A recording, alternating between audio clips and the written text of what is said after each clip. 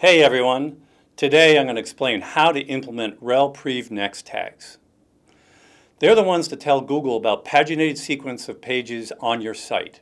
For example, if you have 100 products in one category and you want to show only 10 per page, you end up having to create 10 pages of products to show them all.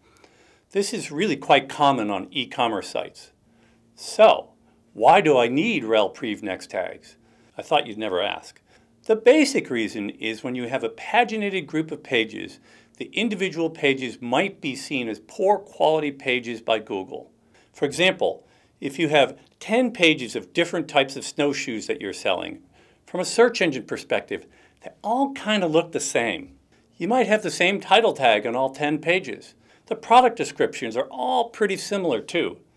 As a result, they might be seen as poor quality, near duplicates of each other. Using the rel prev and rel next tags helps solve that problem. Better still, the pages get treated by Google as a single entity, i.e. links to any of the pages in the sequence provide benefit to the ranking of the entire sequence for related queries. This is probably true for more subtle ranking signals, such as user engagement with the pages as well. So, how do the pages basically get set up? It's pretty simple actually. If I'm on page one of a sequence of 10 pages, I use a rel next tag to tell Google which page is the next in that sequence of pages.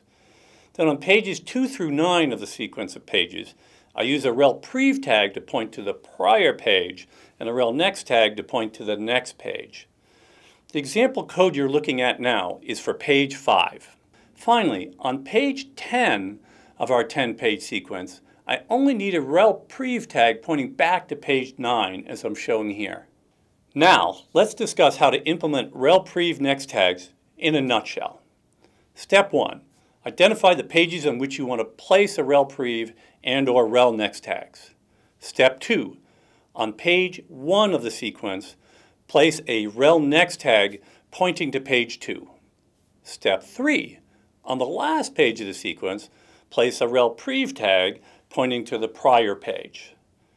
And in step four, on all of the other pages, place rel prev tags pointing to the prior page and a rel next tag pointing to the next page. And finally, in step five, update the source page on your live website. But wait, as always, there's more. Google treats these tags as a suggestion, not a directive. That means they may see the tags on your pages but ignore them. In general, they will only do this if you implement them incorrectly. For example, one common mistake people make is that they properly put rel prev and rel next tags on pages, but also include rel canonical tags on the same pages. These two tags conflict with one another and should not be on the same page as each other. Thank you.